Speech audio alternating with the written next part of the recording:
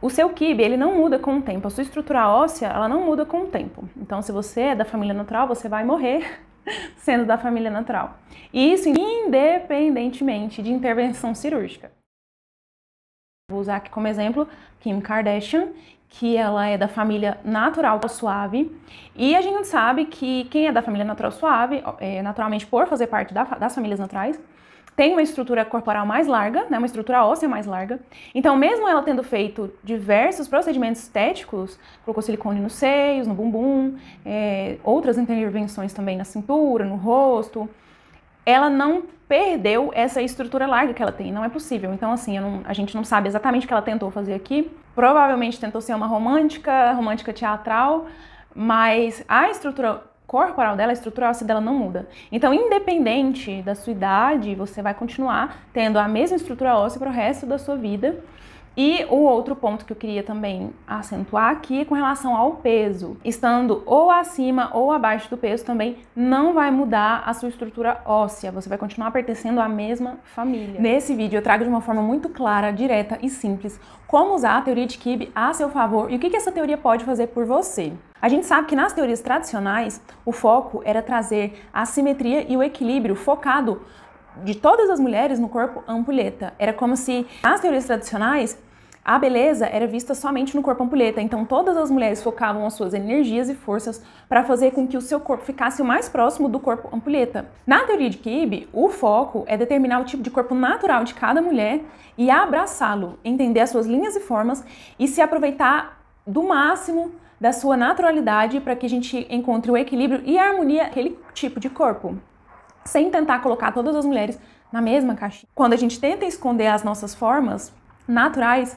por exemplo, quem tem mais essência masculina tem as linhas mais retas, afiadas e longas. E quando a gente tenta esconder essas linhas, a gente acaba causando o efeito rebote, ao invés de conseguir uma harmonia e trazer a feminilidade que a gente tanto quer. Então, quando a gente fala de kibe, kibe é repetição. A primeira coisa que você tem que fazer é descobrir qual família você pertence.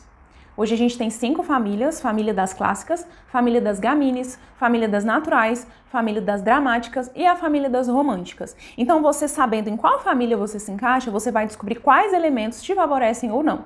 Lembrando que se você é da família das dramáticas, você está no lado mais yang das famílias, com mais essência masculina.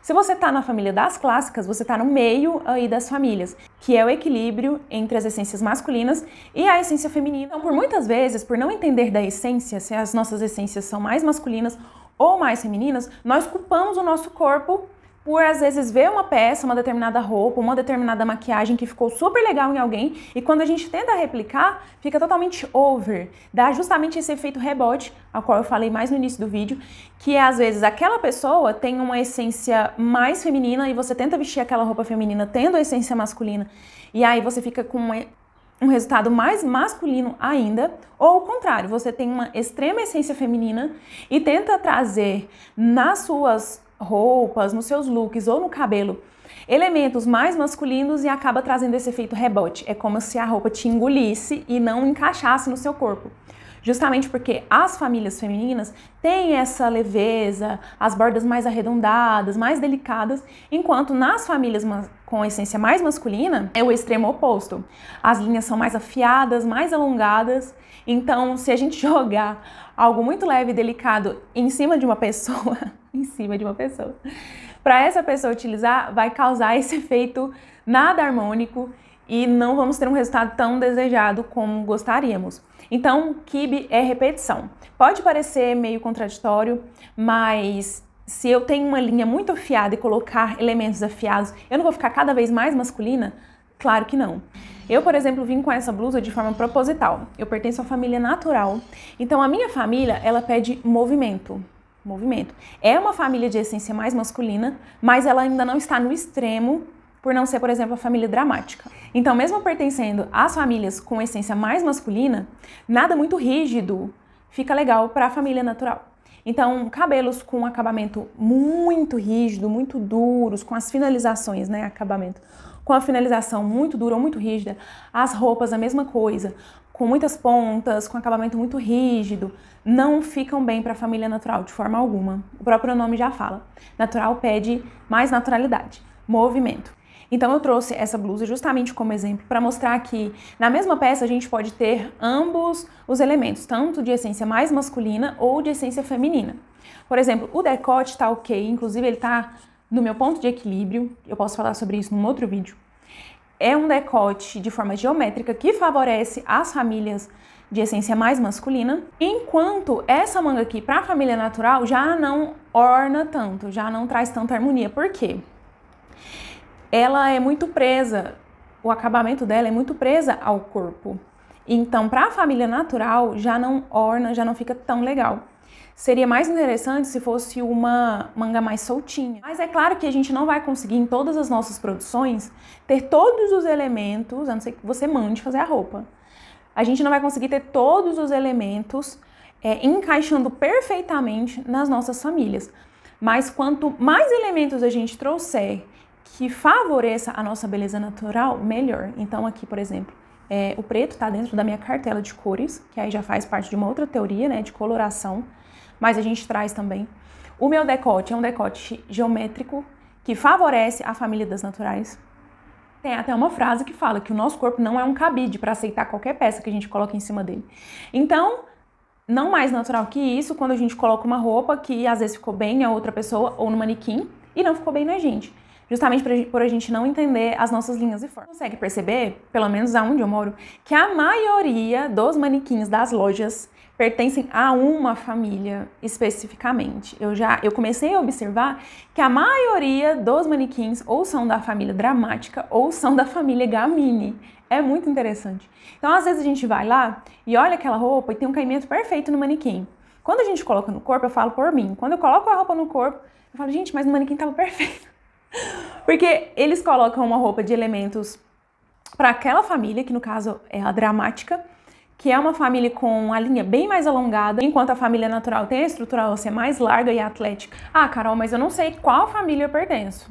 Já tem um vídeo no canal para você fazer o seu teste de Keep Body Type, para pelo menos você chegar o mais próximo de qual seria a sua família. Eu sei que é difícil fazer esse teste sozinho, mas ele já pode te ajudar a você chegar o mais próximo do seu resultado e aí conseguir usar desses elementos a seu favor com mais assertividade na hora de fazer suas compras, nas suas escolhas de maquiagem, cabelo, já vai te ajudar bastante.